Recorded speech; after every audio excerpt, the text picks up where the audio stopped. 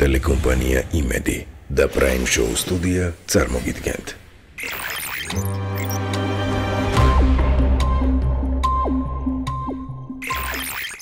გადაცემის პარტნიორია რაიმონდ რეზიდენსი, საცხოვრებელი კომპლექსი ბაგურიაში. რემონტით, ავეჯით, ტექნიკით და ბუხრით. არის კურთხევა დაწყების დიალოგის მამა. გაიხარე, მოთა დაგლოცა და გაგეხაროთ მარტო. გაიხარეთ. დიალოგცა. მიხარია რომ ჩემი სტუმარი ხართ. ამაშალა და პირველი ტრადიციული კითხვით დავიწყებ. ვინ არის მამაშალვა კეკელი?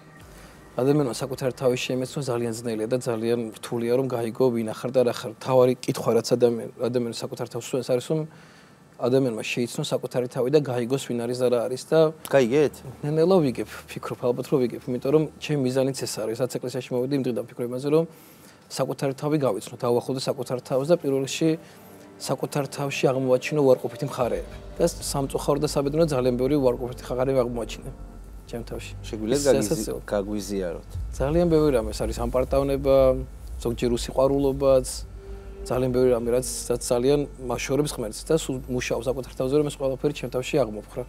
და რა ნაწილში ხართ ამპარტავანი? ბევრ რამეში, იმიტომ რომ ამპარტავნება ამპარტავნება არის რა არის ამპარტავნება? ამპარტავნება არის ყველა ცოდვის დედა. ყველა ცოდვა სამპარტავნება ბადებს და ცოდვა რომელიც ადამიანი ჩადის 99% ამპარტავნებისგან არის ყველა ცოდვა. ადამიანი საკუთარი თავის უარყოფას შეძლებს, ის შეძლებს მის ცხოვრებაშიც განსწელები დაეშვება, ეს განსწელები მიიღო საკუთარ თავზე და მეორე შეუდგეს ქრისტეს. მაგრამ ახან ამით დავიწყეთ საუბარი და ამპარტავნება ახსენეთ. არის თუ არა მაგალითად ამპარტავნება და მართალია თუ არა რომ გიყვართ ძვირადღირებული ტანსაცმელი. რა შეიძლება ეს თემას, ესეთ ესეთ თემას რომელიც ძალიან ისე ხო ანუ კი კი. ჟღერდა ხო და მე ვარ სასროპირი და ძალიან მნიშვნელოვანია საფთისახურო შესამოსელი არის სხვა და სამოდელო შესამოსელი არის სხვა, წირი შესამოსელი არის სხვანაირი შესამოსელი და ყველა დღესასწაულს აქვს თავისი მნიშვნელობა, თავისი ფერი აქვს დღესასწაულს და სამოდელო შესამოსელი, სამოდელო წირის შესამოსელი არის სხვა ფორმის აქვს და სხვანაირია და მიყვარს რაღაც ესეთი რამე, ესეთი რამე, ისეთ რამეს ვეხები ჩვენ ცხოვრებაში, ნუ რომ ტასაცმლის სიყვარულზე და ტასაცმლზე გადართვა ადამიანმა, ეს რაღაც არის ძალიან დაბიო მდგომარეობა ადამიანს. ჩვენ დავდივართ შულგარდაცულ დედებთან, წარმოიდგინე გვიწევს ადამიანთა სამწყობოში მისვლა.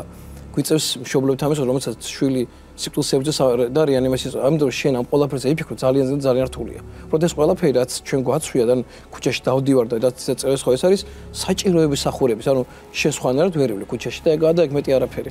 დაბიონატილია ჩვენ ცხოვრებისო ამბობს მაგრამ ნუ რა ვქნათ ეხა ადამიანები ვართ და ეხა წარმოიდგინე მამა რამდენი ადამიანი გვიყურებს ვისაც უყვარს კარგად ჩაცმა რა, მეც მიყვარს. ის არ უნდა იყოს ცხოვრების მთავარი ნაწილი, მაგრამ თუ ადამიანს შესაძლებლობა აქვს, რატომაც არა. არა, ჩაცმა ნახე როგორ რაღაცა, ჩაცმა უნდა გეცვა ადამიანს კოხტად.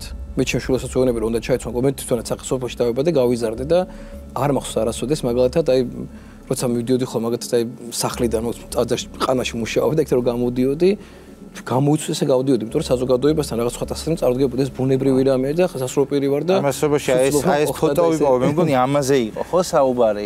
კი, შესამოსელს, წირი შესამოსელი ჩვეულებრივი, კი, კი. ვერსაჩი არის გაბანა. არის ჩვენთან სამკროლო შეკერის შესამოსელი, ჩვეულებრივი, ჩვენთან სამების სამკროლო შეკერის შესამოსელია. სალამას ვაცში. სალამაზი კი. ძალიან კარგია რომ ჩვენები ძალიან საქართველოს ძალიან კარგად კერავენ და ძალიან მისაღებიც არის. აი მაგათ ახლა ვიღაცა ნივთი უკეთია ახლა რაღაც ოქროს ნივთი შეიძლება ვიღაცამ თქვა სამაზე. ეს მაგათ აი მარიტა შობლება მაჩუქეს მე საფრთხეზე ვერაფერს ვერ ვიკეთებ. ძალიან მეც რაღაც გაკეთება და მარიტას შობლებმა რაღაცა მარიტას ყულაბა გახსნეს და იმით გამეკეთეს ეს რაღაცა ეს უფალო შეგვიწყალენ. და მაჩუქეს და რაღაცა მარიტას სიყვარულით ახლა მიკეთია. ხელს ვიღაც შეიძლება იფიქროს, რომ აი რაღაცა ნივთი უკეთია, იმიტომ რაღაცა მოსწონს. არ არ მიყვარდა ხელს არაფერს კეთება და ვერც უკეთებდი, მაგრამ ახლა რაღაცა ამის გამო მიკეთია და მარიტა არის პატარა გოგონა, რომელიც სამწუხაროდ გარდაიცვალა დენის დარტყმის შედეგად ვაკის პარკში ეს ის ტრაგედია, რომელიც მთელმა ქვეყანამ ერთად იგლოვა ცოტა ხნის წინ. იცნობდით პირადად მარიტას? მარიტას არ ვიცნობდი. არ ვიცნობდი, მაგრამ აი ძალიან შემოყვარა თავი და საოცარი მშობლები ყავს, არ ვიცი, ჩემთვის აი ანიც და დათოც საამაყონიერენ და ნოცა მათი და არ ვიცი, აი ესეთი სამაგალითო ოჯახი ჩემთვის აი წარმოუდგენელია და აი ბედნიერია ჩვენი ქვეყანა, რომ ჩვენს ქვეყანაში ესეთი ოჯახი ცხოვრობს და ესეთი ადამიანები ცხოვრობს ჩვენს ქვეყანაში. მარიტამ ყოველს მაგალითი მოგცა თავდადებისა, მეგობრობისა, სიყვარულისა, თავგანწირვისა, ისაც დღეს სამწუხაროდ ადამიანებს გვაკლია ამ გოგომ კიდევ ერთხელ გაგვახსენა ეს თუ რას ნიშნავს მეგობარმა მეგობრისთვის სული დავს, რასაც ქრისტე ამბობს და მან თავის მეგობრებისთვის ანდრიასთვის და ლაზარესთვის ყველაფერი გააკეთა. ის თავის მეგობრებისთვის, ლაზარეს ანდრიასთვის ჩავიდა, ეგ რომ თავის მეგობრები გადაერჩინა. და ამას აი 13 წელს გოგომ ეს ამით მე პირადად მე ამ გოგომ ამხილა და ჩემი ცხოვრება კიდევ უფრო სხვანაირი გახდა ამ გოგომ. საკუთარ ცოდვებში მოიხსენი თუ სიყვარულობა.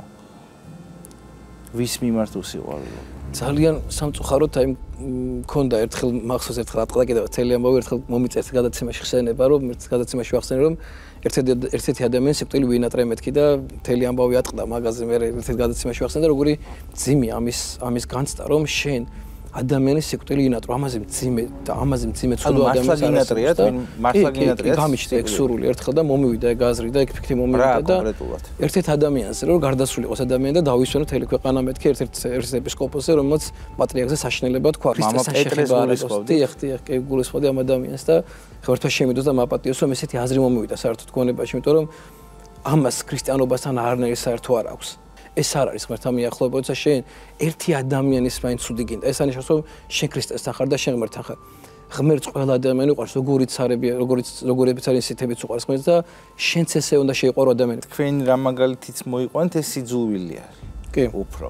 უსიყვარულობაში რა იგულისხმეთ?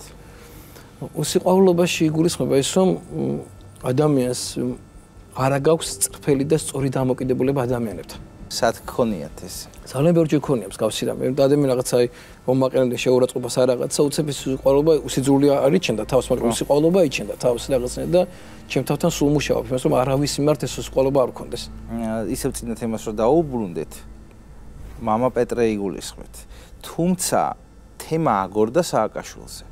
იმიტომ რომ ძალიან ბევრმა წარმოიდგინა რომ თქვენ იგულისხმეთ მიხელ სააკაშვილი. იმიტომ რომ ეს ეს ინტერვიუ იყო ჩაწერილი 8 თვის წინ წარმოიდგინეთ და ზუსტად იმ დროს დადო ტელევიზიამ, როცა ეს თემა წამოვიდა პრეზიდენტზე, ოფიციალ პრეზიდენტზე და იმ დროს დადეს ეს ინტერვიუ. ოღონდ მოჭრილი ვარიანტი და რაღაც დადეს. ახლა შეგნებულად გააკეთეს ალბათ. არაფერში არ იყო და არასოდეს გავსი რამე ისედაც პოლიტიკა საერთოდ არც უფრო ჩავერიო ხოლმე და რამეზე მოგიწიათ თავის გამართლება? არა, ის ინტერვიუ დავდე მთლიანად. მთლიანად. ანუ განმარტება მომიწია, განმარტე. ჩვენთვის ყოველ შემთხვევაში ჟურნალისტებისთვის ძალიან კომფორტული ნაწილია რა. რომ როდესაც ვრეკავთ мама შალვასთან ხშირ შემთხვევაში ვამ. კი. ის პირდაპირ გეუბნება პასუხს. ან ხოს, ან არას მოუცლელობისას. უმეტეს შემთხვევაში, ონ აბსოლუტურად უმეტეს შემთხვევაში, როცა ჩვენ ვრეკავთ სასულიერო პირებთან, ისინი ეს არის დამალული, ჯერ გვეუბნებიან, რომ გაივლიან საპატრიარქოში შესაბამის თემას, იმიტომ რომ ესეც ბუნებრივად ყველგან არსებობს თავისი ესე ვთქვათ, სუბორდინაციული მომენტები მათ შორის საპატრიარქოშიც და მეરે დაგვიბრუნდებიან პასუხით.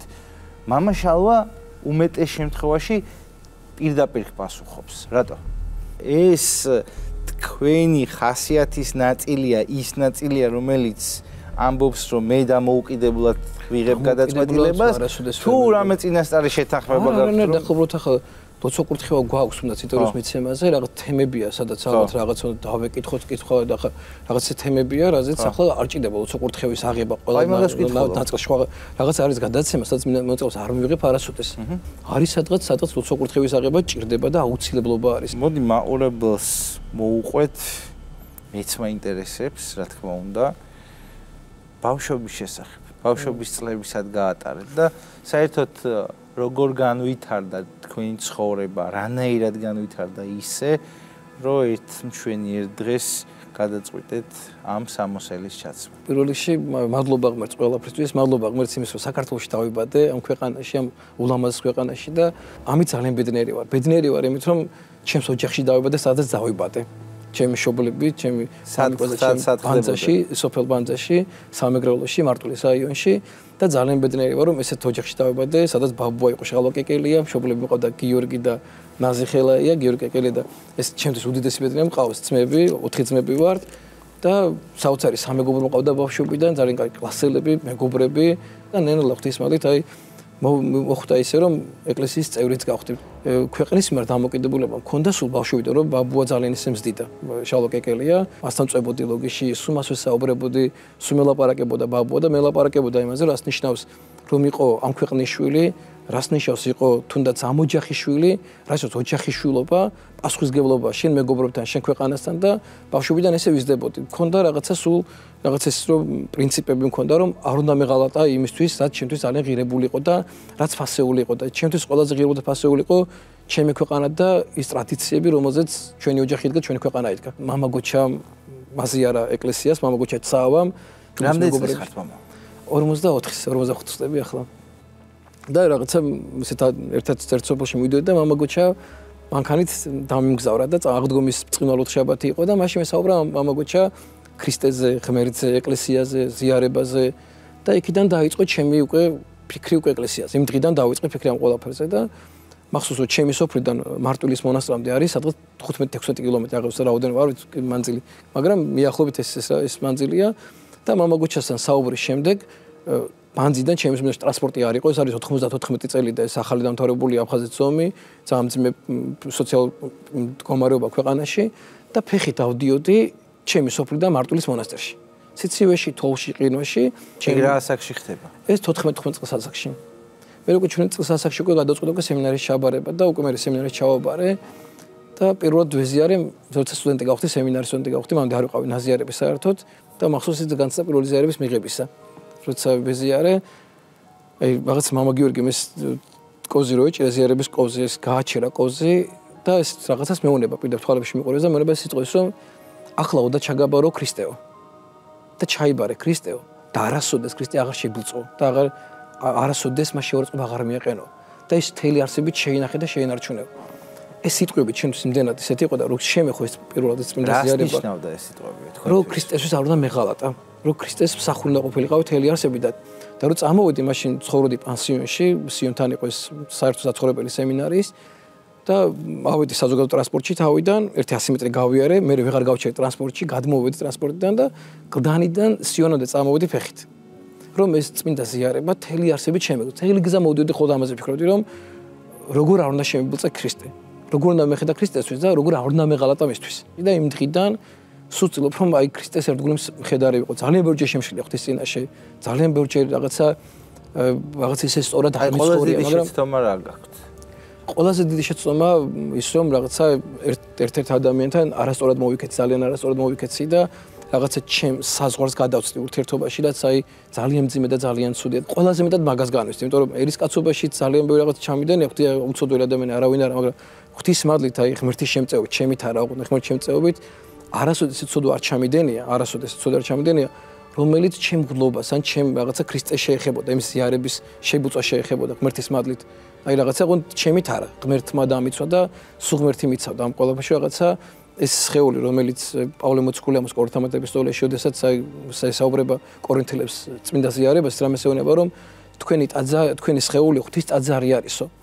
და ამ ღვთის ტაძარშიო მოთავსებულიაო სული წმინდა, ანუ ჩვენი სული, რომელიც მარადიული სულია, რომელიც არ წარწყდება არასოდეს და ეს ღვთის ტაძარს უნდა გავარტყა, არ შეიბუწოს ღვთის ტაძარიო.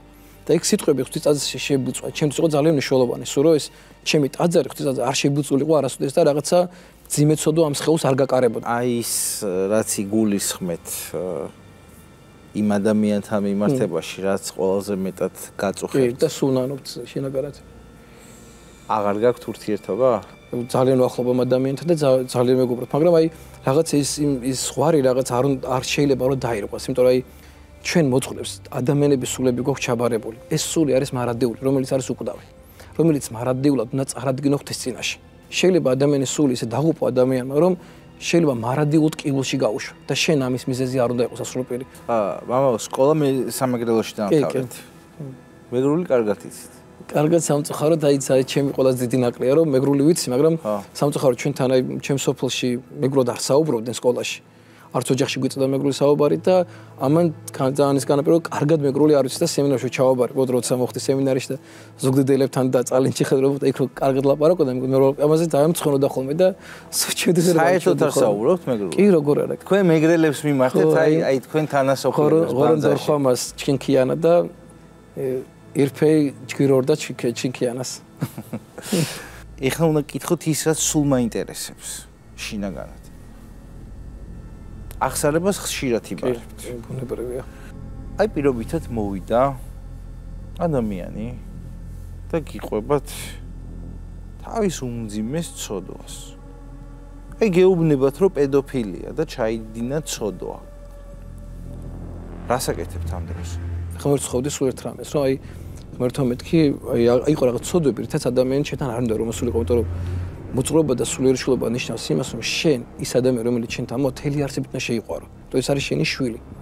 თავის წოდები, თავის შეცდომებით და შენ უნდა შეგლა ადამიანს ჩახუტება, გულში ჩაკვრა და მასზე მზრუნველობა. ძალიან მნიშვნელოვანია ეს დამოკიდებულება და ჩვენც იყო ორი მძიმე ცოდვა, რომლითაც არ უნდა ადამიანს შენთან მოსულიყო. რაღაც ესე განსაზღვრული ქონდა, ეს იყო აი რაც ახ თქვენ ახსენეთ ეს უმძიმე ცოდვა და კიდევ ერთი მძიმეცოდა ეს არის შულთან ურთიერთობა კიდევ. ეს ეს იყო ეს და მესამე ცოდვა ერთი მამათმავლობის ცოდვა ანუ ამ ცოდვებს ათანაბრებთ ერთმანეთთან უმძიმესოდებია ჩემთვის უმძიმეს თუ სიკვდილი ნებისმიერი ცოდვა სიკვდილია მაგრამ რაღაც არის ცოდვებშიც რაღაც საფეხურები ხო განსხვავება საფეხურებში და ეს ცოდვა კიდევ უფრო მეტად მძიმეა და ძალიან დამანგრეველი ადამიანის სულისთვის და პირველად მახსოვს საყდელი გავხდი და როცა საზრუპირად მაკურთხეს და მოვედი ეკლესიაში პირველი ახსარება ჩემი მეგობრისგან ჩავებარე პირველი ახსარება და ვინც თავისნებით პროჩნან ახსარებაზე მოვიდა, იყო მამათმავალი. პირველი ადამიანი, ანუ ღმერთმა მე დამანახა, რომ შენ ვერ გადაწყვიტა, ვინ მოვა შენთან. მე ვისაც შენთან მოიყვან, შენ ვალდებულება გაქვს, როგორც მოწყოს, რომ ყველა ადამიანს უნდა უპატრონო და ყველა ადამიანს და მიხედო მოუარო. ჩვენ გვდლებს არ აქვს იმის უფლება, რომ ადამიანები გავსაჯოთ. ჩვენ ადამიანები, ვინ ჩვენთან მოგინდეს პედოფილი იყოს, კვლელი იყოს, ნარკომანი, მამათმავალი, ეს ჩვენ ზრუნულობა უნდა ქონდეს ყველაზე. მოძღვარი უნდა იყოს ყველა ცუდის მიმართ განწყობილი რადიკალურად, იმიტომ რომ მოძღვარმა ზუსტად იცის ცოდვა საშედეგი მოგზა როგორ კლავს ადამიანს და როგორ ანადგურებს ადამიანის სულს ნებისმიერი ცოდვა მაგრამ არც ედი ცოდულის მიმართ მოძღვარს არ უნდა კონდეს უდამოკიდებული იმიტომ რომ შენ ყველა ცოდვას უნდა იღებდე და შენ უნდა კონდეს ყველაზე მზრუნველობა მოვიდა და კი იგივე კითხვასო მოვიდა და აი საშინელ დანაშაულს გიყვებათ რომელიც ჩაიდინა. მათ შორის სისხლის სამართლის დანაშაულს აი არ ვიცი რა შეიძლება იყოს პედოფილიაზე მძიმე ცოდვა ამ დროს რა შვებით? მიბარებ ახსარებას და შეგა ვერ გავახსარება, სულ რომ მოვიდეს, აი დაგეგმილი რომ მოვიდეს ადამიანი ძიმეცოდვით, იმასაც ვერ კაცე. მოძღვრისგან ახსარების გაცემა ნიშნავს, რომ მოძღვარმა, აი როგორც მაცხოვარი რომ ჯვარზე რო გააკრეს და უსმენ ზუსტად ისეთივე ცოდვა მოძღვრის ახსარების გაცემა. ახსარების გაცემაზე ძიმეცოდვა მოძღვრის არ არსებობს.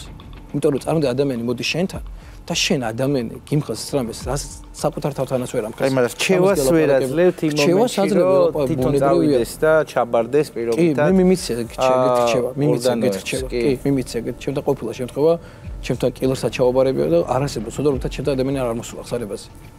მე მიმიცე ეს შევა, მაგრამ მე ამას ვერ გავაკეთებ. კი, რომ მიგიციეთ მე თუ მოусმენიათ და გაუკეთებთ. ერთი შემთხვევა მაქვს, ერთ-ერთი ადამიანი, მოკლა ერთ-ერთი ადამიანი და სხვა დაიჭირეს ამ კვლობაზე ადამიანი არ დაიჭირეს. ეს ადამიანი მოვიდა ჩემთან და ხსარება ჩაამბარა. მას ვთხოვე რომ ის სულიყო სამართალად ის თქვა რომ ის წყულა ის ადამიანი ციხეში და ჩამჯდარება. ეს ადამიანი წავიდა აღიარა თავის დანაშაული ეს ადამიანი გამოვიდა ციხიდან და ეს ადამიანი ჩაძდა ციხეში. და დღეს ეს ადამიანი არის ჩემი ამხსარებელი და ჩემი მრევლი ყველაზე მძიმე ცოდვა რა მოგისმენიათ? ყველაზე მძიმე ცოდვა შულთან ურთიერთობა. იყო ეგეთ კი მამის და შვილის. მამის და შვილის. ძალიან ძალიან რთული იყო. მოსასმენად რთული იყო და ურთიერთობაც ძალიან გამიჭირდა. მე ძალიან ბევრს ვცდილობდი რომ ამ ადამიანთან მე ურთიერთობა შემძლებოდა. როგორც იყო, როგორც მოძღვარს, ადამიანს როგორც წარსული ცოდვა. წარსული ცოდვა კი, წარსული ცოდვა. და ძალიან რთული იყო ჩემთვის ამ პირველად ამის მოსმენა თამაში ნახალ ნაკურთხუდელი ვიყავი და ძალიან გამიჭდა. მე პატრიკსაც ვესაუბრე მე და პატრიკმა მე დამარიკა და დამეხმარა პატრიკი ძალიან მე. თორე ძალიან მიჭირდა ამ ადამიანთან ურთიერთობა მე. ის ადამიანი ცოცხალია? კი. კიდე ღვთისმადლი და შეცვლილია ძალიან ცხოვრება. იყო ამაზე გასამართლებული. არა, არა, არასოდეს. ესეთი რაღაცები წესით უნდა იყოს დასჯათი. კი, ხო, მაგრამ მოძღვარს არანაირი უფლება არ აქვს, არ შეიძლება მოძღვარმა ახსარება გასცეს, არანაირი უფლება არ აქვს ამის. და არ შეიძლება ეს რომ შემთხვევა თუნდაც ტრაგიკული ხო, იმიტომ რომ ვიცი რომ ძალიან ბევრი ადამიანს ანუგეშებთ. ძალიან ბევრი ადამიანის იმედი ხართ და მე ჩემი თვალითაც მაქვს ნანახი, მყავხართ ნანახი საფლავზე აა სრულიად შემთხვევით და ვიცი თუ რამხელა როლია თქვენი ადამიანებთან ურთიერთობაში. ეხა მინდა გთხოვოთ, გაიხსენოთ შემთხვევა ალბათ ტრაგიკული. რომელმაც ყველაზე მეტად დაგაფიქრათ და ყველაზე მეტად შეგცვალათ. პირველად შემეთქვა ეგ მაშინ აი ახალი ნაკვეთქუდელი ვიყავი მაშინაც, ჩემს მეგობრს გარდაიცვალა შვილი. და ზუსტად ჩემი შვილი და ჩემი მეგობრის შვილი თანატოლები არიან, ერთდაგივე სახელს ატარებენ და დაბადების დღეზე თანამდე ერთად ვიყავით რაღაცა და უცებ გავიკე რომ გარდაიცვალა, მახსოვს რომ მივედი მის პანაშვი და პანაშვი ვერ გადავიხატე, სიტყვაც ვერაფერი ვერ ვთქვი. რამდენჯერაც ვიწყებდი პანაშვით, იმდენჯერ ვიწყებდი ტირილს და ვერაფრით სახურება ვერ ჩავატარე, ვერ ზედამესი ვერ ვერ ვანუგეშე, ამაში ძალიან დამაფიქრა ამ ყველაფერზე და მე რიქიდან წამოსულს მე მომიწია ნათლობის ჩატარება ეკლესიაში. და იმ ადამიანების სიხარულს და გამეზიარებინა. ძალიან რთულებ, რომ მოძღვრობაში ეს არის თან ძალიან ხშირად გვიწევს სამსახურების ჩატარება. ამათ შეხება გვიწევს, აი მახსოვს ნიკუშას რო შემთხვევა საშინო ტრაგედია კიტას ამბავი რომ მოხდა მაშინაც რამოდენიმე წუთში მომიწია მისვლა და მახსოვს ნიკუშას მამა მაშინ რო მივედი მასთან სახში და როგორი სახე ქონდა ნიკუშას მამას იქ ოთახში რო იჭდა რომ აი ყინული ქვა, გაქვეებული ქვა და არიცი რა უნდა თქვა ამ დროს. რას უნდა ელაპარაკო, არ ვიცი ნიკუშას რა უნდა მეთქვა, თეკას თვის რა უნდა მეთქვა რაღაცა აი აი ძალიან რთული ამ ამ დროს რაღაცის მე ღმერთი გაძლევს ამ სიტყვას რომ რაღაცა უთხრა, რაღაცა ელაპარაკო და გუში ვიყავ ერთ-ერთ ოჯახში ვიყავ მისული ახალი წლების შემდეგ ეს გოგონა წარმოიდგინე ფეხზე ვეღარ დადგა მისი მეუღლე მოკლეს. და 20 დღეა ლოგინა და ჩავარდნილი თითქმის აი საერთოდ ვეღარ დგება ლოგინა და ახალგაზრდა ქმარი ესე დაიღუპა, მოუკლეს ქმარი, დარჩა შვილი, თან ფეხძიმედ იყო თვითონაც ეს მეორე ბავშვზე, რამოდენიმე თვის ფეხძიმედ იყო და მიყავი მასთან სახში მისული და რაღაც საუბრობდით ამაზე, რაღაც ველაპარაკებოდი და მე მანახა სარკეზე იყო მისი შვილის წერილი.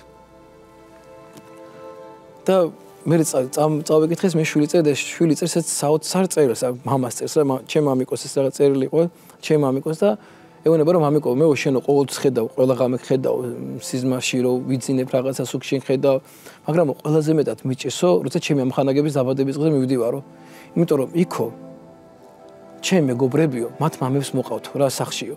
და ვიციო შენო არასოდეს ჩემ წამოსაყვანა და არ მოხვალო რომ მე წამიყვანო. მაგრამ დედიკოს მეუნება რომ შენ ჩემთან ერთად სულ სულ ხარო. და ველოდები დროს როცა შეხვდებიო რაღაც და ამ წელმა ჩვენ ძალიან იმოქმედა ჩვენ სულ ესეთ სამწუხაროდ ესეთ რაღაცებს ეს რეალობაში ყოფნა გვიწევს ხოლმე და ვერავინ ამდენჯერმე ყოფილა წარმოვიდგინე სახში რომ ისულ არ ხოლმე. ძალიან ბევრჯერ აი მანქანიდან ვერ გადმოსულ ვარ საათობით და ვარ მანქანაში რომ რაღაც ეს ყველაფერი მანქანაში დამეტო სახში შევდივარ რომ ბავშვები რო ხდება რომ მათთან ერთად რაღაცეს სიხალოდ გავიზიარო და მათთან ერთად გავიხარო წარმოვიდგენია რამდენი ამის ნახვა მოსმენა გაზიარება გიწევთ ეხლა გაგვიზიარეთ როგორ გაიცანით თქვენი მეო? როდის იყო ე?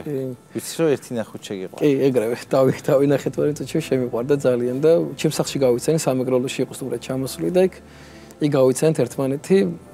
აი პირველი დანახვიდან ძალიან შემიყვარდა და მადლობას წირავ ღმერთს კეთისთვისაც, იმიტომ რომ აი არც რო არა კეთი ალბათ ჩემი ცხოვრება ისეთ ვერ იქნებოდა, იმიტომ რომ აი ძალიან ძალიან გვერდით მეთქას ყველაფერში და მე არც სახლი მქონდა, არც კარი ისე გამონყვაცოლა და არასოდეს უკან არ დავხევა მურთერთობაში.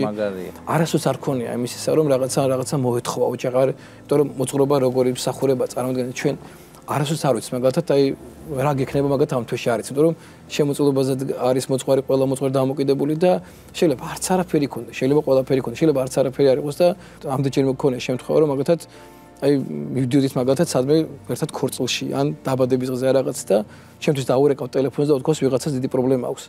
და გზაში მიმიტოებია წარმოგიდგენ ხალის ახლა რო ჩაიცვა საბრეგოში წახვიდე მოეწყო გამოეწარმოდი და უცებ ვერ მივდივართ, იმიტომ რომ მე უნდა წავიდე, მრევლს აქვს პრობლემა და ექვედა წახვიდე და ზოგჯერ ქუჩაში კი დამიტოვებია. მანქანა გადმომიშოს, ტაქსის გამოშვე და მე კიდე ვიგაქცეულო, რაღაც დიდი პრობლემა ყოფილა. სიყვარული როგორ აუხსენეთ? ნუ თავიდან პირველივე დღეს ვერ ვთხოვ რომ მიყვარდა, როგორც მე თბილისში ჩამოვეც სამგროდან, იმიტომ ჩვენ ვთხოვ რომ ძალიან მიყვარდა. და მე თვითონ ვარ იმითხა, ჯერ ვარ ვარზე იყო თავიდან და მე ნენელა ნენელა პირიქით, სულ ისე გადაერთად. ეცოდა კი განერვლა ძალიან. მე ბოლოს მახსოვს რომ ერთხელ მოვიდა ჩემთან აკადემიაში ვსწავლობდი და დავინახე რომ ესე დროს არ მოდიოდა ქეთი არასოდეს და დავინახე რომ მოდიოდა ქეთი ეკლესიის აკადემიაში დავინახე და შევხვდი და მეთქი რა ხდება მეთქი და ეს ესე ჩვენ შორის ყველაფერი დამთავრდაო და მეთქი რა შეიძლება დამთავრდა რა მე დაიწყო არ საერთოდ თუნ უყვარდი რა რაღაც ესა არ ქონდა რა თქმა უნდა. მეთქი რა მიიღო დაწყებულ ჩვენ შორის მეთქი რა ხდება მეთქი და არაო სო დაამთავროთ უკვე ყველაფერიო და არაო რა შენ შენ გზაზე მე შენ გზაზე მე შენ გზაზეო და რაღაცა ეცუ ჩემს რომ მითხა ძალიან იმოქმედა ჩემზე და უცებ ეს ჩვენ სოდები რომ მოდიოდნენ ვხედავდი ამ ჩემს ყველას მე გაიცანი თუ ჩემი საცოლია მე ეგრევე დავიწყე ამის საუბარი ყველასთან. გაგიზდა კეთი გაიქცა უცი გამას გავფრაზდა და ყველას ვაცრუდი როგორც საცოლეს იმიტომ че ესე ესე ტესტი და რომ მივიდიოდი თლესელიძეზე დავინახეთ ჩემი სოფლის მოწყარია მამა გიორგი რომელიც ჩამოდიდა ხოლმე ყოველ სიონში ადრე და პარაკის ფსიხდა ხოლმე სიონის ტაძარში და გზაში რომ დავინახეთ მამა გიორგი რომ მივედით მამა გიორგის მომნები რომ მამა გიორგი მეთქე ესე პარაკის დასრება უნდა მეთქე წყვილის მომიწია და რაღაცა რცხვენია მეთქი თქვენ პარაგის დაესწროს მეთქი რაღაცა. რა სამბოშო წაიყვანა პარაგის ჩამოიყვანა და იქ ჩვენი მეგობარი იყო ერთ-ერთი რომელსაც ძალიან მეგობრობს ერთ-ერთი ქალბატონი იყო მიშუსაც შაკო ერქვა მე ის კაცს შაკოს მეძახდნენ და ამ ქალბატონს უყარდი ძალიან ის სულ საკუთარ შულს მამს გავსებდა და რაღაცა ძალიან ეს აი დედობრივად ცნობდა ჩემზე ძალიან და ეს ჩემი მეგობარი ეუნება ამ ქალბატონს ზოიას ეუნება რომ ქალბატონო ზოიაო ამ გოგოს და შაკოს ერთმანეთი ძალიან უყვართო რა ჯეს მეუღლეზე ვენება და მამა გიორგი ჯვარსო არ წერსო. უნდა ჯვის წერო და მამა გიორგი ეცინაოდა რომ ჯვის წერას მამა ჯვის წერასო და ეს კალოფტონი მივიდა მამა გიორგიზან როცა ზეცხებას მივიდა მამა გეხვეწები ნახე რა ლამაზი გოგოა გეხვეწები ჯვარი დაწერო რატო ეცინაოდები მამა გაგიჟე რა ეცინაოდები ხედავთ წავიდა ლაპარაკი და წავიდა საუბარი იმაზე თითქმის ჯვის წერავდი მივედით უკვე მამა კაი დავწერო ჯვარსო ქეთი ხმას არიღებს და ტყინა ხომ ჯვარი დავიწერთ ზეთ გეუბნები არა მამა გიორგი არ ვიწერ ახლა ჯვარს ზეთ ქეთი რა მეთქვი და რაღაც ესე გადავაფიქრებინე დღეს ვისწერა ეხშვილებზე მოგულ ერთი შვილი ღმერთთან ამყავს იოანე. ძალიან გვეხმარება იოანე ზეციდან აი ძალიან ჩვენი ოჯახის ახლა 6 წლის იქნებოდა იოანე. და აქ გიორგი ნინო და ილია რომლებიც არის ჩემთვის აი არ ვიცი ძალიან ძალიან მოყვართ და როგორ შეიძლება ადამიანს შვილი არ უყვარდეს ეგეთი რამე იცი შენ ხა შვილის ზნობა და ვიცი შენ ფოტოებს ხედავ ხოლმე შენ შვილთან დამოკიდებული და რა არის ეს შვილი და შენ ცხოვრებას თავიდან მომუნდა ცulis შვილთან ურთიერთობა და რაღაცა სხვა სხვა სამყაროში შედიხარ შვილთან ერთად და აი ძალიან ბედნიერი ვარ მე მაგათა რომ აი ურთიერთობა ძალიან სხვა ოჯახია და ყოველას კამათი ყოველას მოგწ მაგრამ აი მე ბედნიერი ვარ თორე ძალიან კარგი ურთიერთობა გოს ერთმანეთთან ძალიან და სულცილობ რომ ჩემი შვილების მეგობარი ვიყო. ხე როგორ გადაიტანეთ იოანეს ამბავი? იოანეს ამბავი თავიდან აი ყველაზე რთული იყო და დაგრძალეს მომენტი ჩემთვის რთულესი აი როცა ხელში მეჭერა და მომიწე მისი და ის მიწისევიდან დაყრა აი ძალიან ისეთი მომენტი იყო ჩემს აი რაღაც ისეთი მოგიწია? ძალიან კი მე მე თვითონ გავაკეთე ყველაფერი მე თვითონ გავაკეთე მე თვითონ დავუძე მე თვითონ დავუძე და აი მაშინ ძალიან ბევრი რამე გაყვა იოანეს ჩემი ეს უარყოფითი რაღაცები მან მან წაიღო.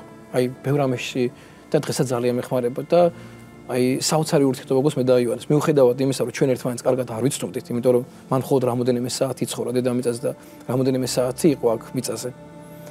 საოცარი ურთიერთობა გქოს მასთან. როცა ძალიან ისეთი რთული პერიოდი მქონია ხოლმე, მის საფლავზე ავდივარ ხოლმე და მას ველაპარაკები ხოლმე. ყველა ხალხს მასახვდებით.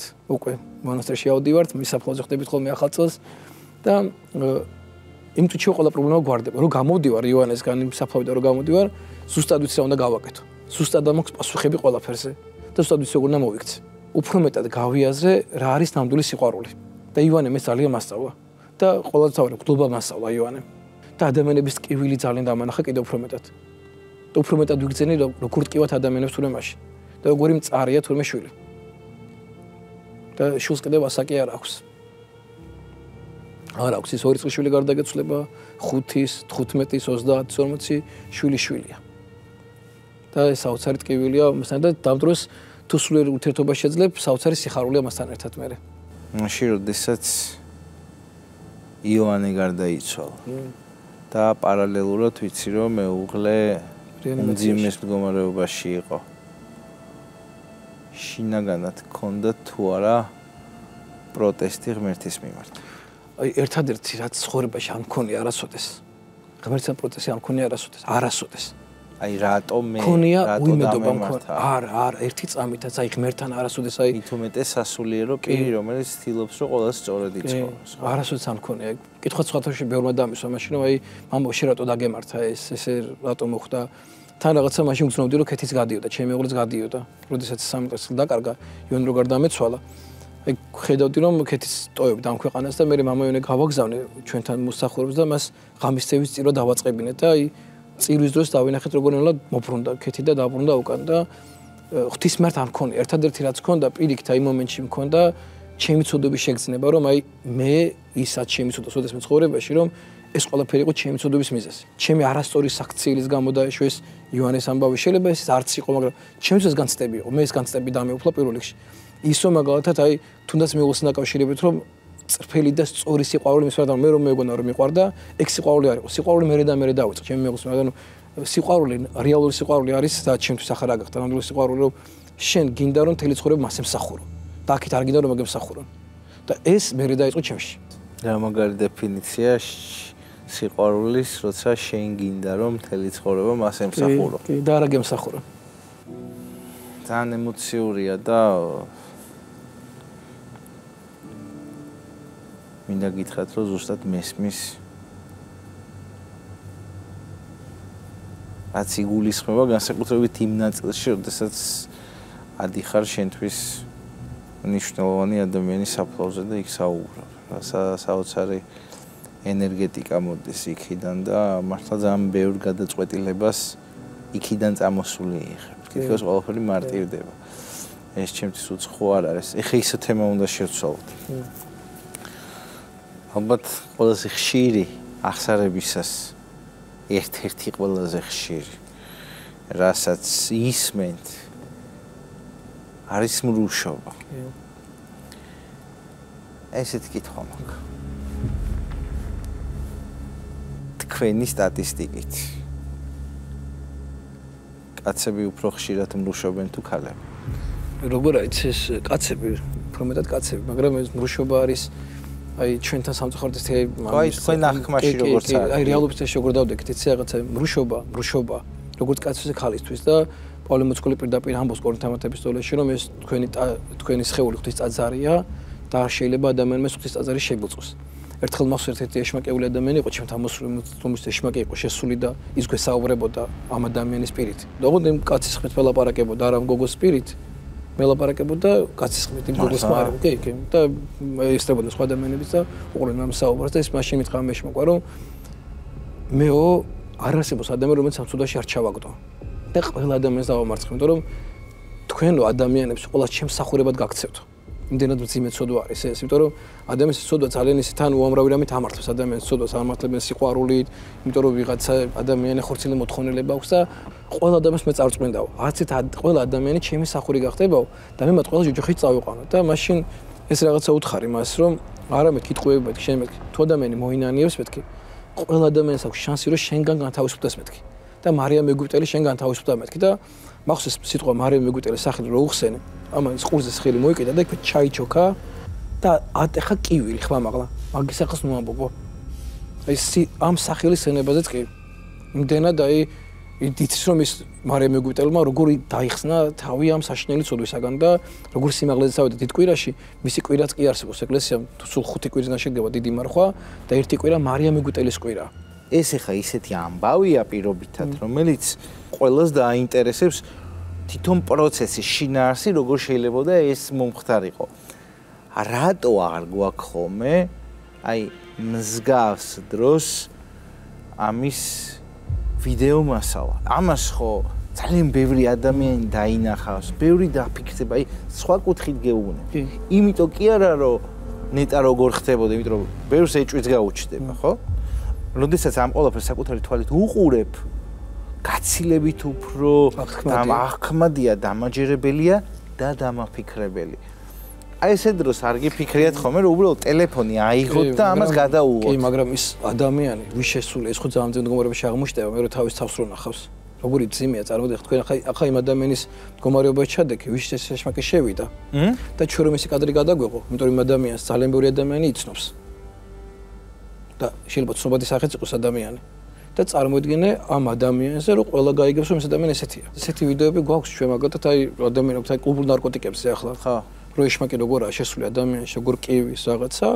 ესენი გადაღებული არის ეს ვიდეოები და გვაქვს ეს მსგავსი ვიდეოები, მაგრამ შეიძლება იმიტომ რომ შობლები ყავთ, ოჯახი ყავთ, ესეთი ვიდეოები ის როგორ ეშმაკეული ადამიანი როგორ ლაპარაკობს, ეგეთი ვიდეოები თამდოდ არსებობს. თავად თუ გაგისინჯათ მაწულ კაცობაში. ბავშვობაში ერთადერთ ხელა მაქვს მარიხუანა გასინჯული მარტო ერთადერთ ცხოვრებაში. მეგრული? მეგრული. და არ მიგწნი არაფერი საერთოდ და ვერც მიხვდი რა იყო. რა პრობლემებია დღეს ეკლესიაში? მე არ გეკითხები არის თუ არა? არის. არის, როგორ შეიძლება არ იყოს პრობლემა, როგორ შეიძლება ადამიანები ვართ ნოე და სადმე პრობლემა არ იყოს და არ არსებობს 12 მოწაფეში მაცხოვრის მაცხოვრის არჩეულ 12 მოწაფეში ერთ-ერთი იყო იუდა მაცხოვრის არჩეულებში. და რა რა პრობლემაა იმაში რომ სასრულპირების ვიღაცას არ წამდეს ღმერთის, არ აღიარებდეს ამას, თუმცა შეგრძნებები არ კონდეს ამ სარწმუნოებისა იმ საუთში შემოგვა. მაგრამ მაინც კონკრეტულად უნდა გკითხოთ რა პრობლემებია დღეს ეკლესიაში. უამრავი პრობლემაა ეკლესიაში, თუ ადამიანები ვარ და უამრავი პრობლემაში დგავართ, თუნდაც რომ რაღაცა სათანადოდ არ მსახურობთ ხტლები როგორც ამ მსახურობდეთ, თუნდაც. ის რომ მაგალითად ჩემთვის პირველი პრობლემა ისა, ყველაზე პრობლემა რომ რაღაცა ხახთან აი იმ ხახთან ურთიერთობაში ისე არ შედიხარ როგორც შედიოდე. იმიტომ რომ ძალიან მნიშვნელოვანია რომ შენთან ყველა ადამიანს და მოესწრებოდეს. შენ მგდელი ცალკე ასევით რაღაც არ უნდა დააყენო საკუთარი თავი და ესენ სადაც იქ არ უნდა იყვნენ. შენ მათ როგორაც ქრისტემ გააკეთა, შენ ციგ უნდა გააკეთო. ქრისტემ უნდა გააკეთა.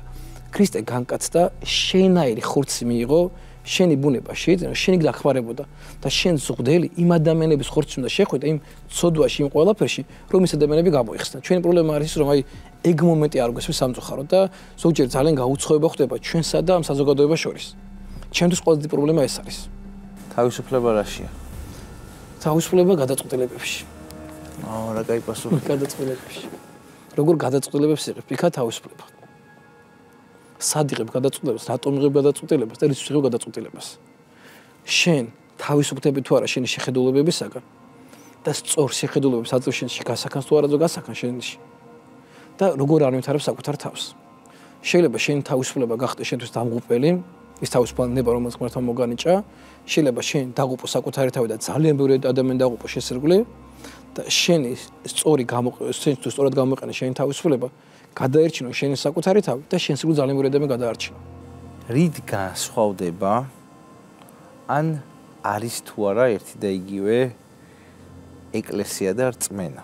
რატო ვკითხულობ ახლა ჩემს გარშემო ძალიან ბევრი ადამიანია უამრავი ადამიანია ვისაც რო ეკითხები ღმერთის წამს, მაგრამ ეკლესიაში არ დადის. სხვადასხვა მიზეზით. მე ესე გაგცემდი უფრო პასუხს ამაზე და ჩვენთვის არის განსხვავება ეს რამ, ჩვენთვის არიან მორწმუნე ადამიანები და რელიგიური ადამიანები. აჰა. ძალიან დიდი განსხვავება რელიგიურ ადამიანს და მორწმუნე ადამიანს შორის. ხო, აი რა დაახლოებით იგივე კითხვა. ხო, იგივე კითხვა და მაგიტომ მე უფრო ეს ეს ამ ამ სწორებით რო გამარტავდი ამას. ვინა მორწმუნე ადამიანი? მორწმუნე ადამიანი არის ადამიანი, ვისაც თელი არსებით გააზრებული აქვს ღმერთის არსებობა მასში და სამყარო შეაქონს ამ ყველაფერს და თელი არსებით გზობს ამ ყველაფერს. ესა მორწმუნე ადამიანი. რელიგიური ადამიანი არის ადამიანი, რომელიც მარხულობს, ლოცულობს, წესებს აღასრულებს, მაგრამ შემხიბულობაში არ არის ღმერთთან. და რელიგიური ადამიანებისგან არის ძალიან დიდი პრობლემა საზოგადოებაში. და რელიგიური ადამიანები ძალიან ბევრი ადამიანს უქმნიან პრობლემას. მარტო როცა რელიგიური ხარ. მორწმუნე ადამიანი არასოდეს არავის პრობლემას არ ოქმნის. მორწმუნე ადამიანი ყველგან და ყველასთან ახერხებს ურთიერთობას. ანუ რელიგიურს ახლა ჩვენ ოდნა ვაიგივებთ ცოტათი ფუნდამენტალისტი. ფუნდამენტალ ადამიანთან, კი. და მორწმუნე ადამიანი ვერასოდეს ეკლესიის garaში ვერ იქნება, რა თქვენ ახსენეთ. მმ შეგედავებთ. კი, არა, ვერ იქნება. რატო ვერ იქნება გეტყვი? მორწმუნე ადამიანი, იმიტომ რომ მე ვიძახი ნამდვილ მორწმუნეობას. ის შე რო რაღაცა შე რო გონია რომ მორწმუნე ხარ, შეიძლება არ იყო მორწმუნე. ნამდვილი მორწმუნე ადამიანი, ვინც ნამდვილად მორწმუნეა, ვერასოდეს ეკლესიის ვინ განსაზღვრავს მაგას? აი მაგას თვითონ ადამიანი განსაზღვრავს. მაგ დეფინიციას ვინ განსაზღვრავს? თვითონ ადამიანი განსაზღვრავს ამას. თვითონ ადამიანი განსაზღვრავს ამას. ამას ვერავინ განგისაზღვრავს. შენ ვერავინ ვერ შეგაფასებს. ამას შეაფასებს საკუთარი თავით. შენი გზნობები და შენ შეხედულები იქამდე მიგიყვანს. გამურიცხულია. შენ ამ მდგომარეობამდე ღმერთი არ მიგიყვანოს. ძალიან დიდი მადლობა მინდა გითხრათ მამაშაო ამ დიალოგისთვის მე მე ღრმად ვარ დარწმუნებული რომ ძალიან საინტერესო იყო ჩვენი მაყურებლისთვის სიკეთე ქონოთ. დიდი მადლობა ნოი მოწვევისთვის გაგახაროს და დაგოცე შენს ოჯახთან ერთად და დიდი მადლობა. შენ საოცარ მეუღლესთან და დიდი შენ საოცარ შვილთან ერთად გაგახაროს და შვილებთან. და შვილებიც ძალიან ბევრი შვილი და შენ ძალიან ბევრი შვილი უნდა ყავდეს და გეყოლებათ. გადაცემის პარტნიორია რაიმონდ რეზიდენსი, საცხოვრებელი კომპლექსი ბაგურიაში. რემონტით, ავეჯით, ტექნიკით და ბუხრით.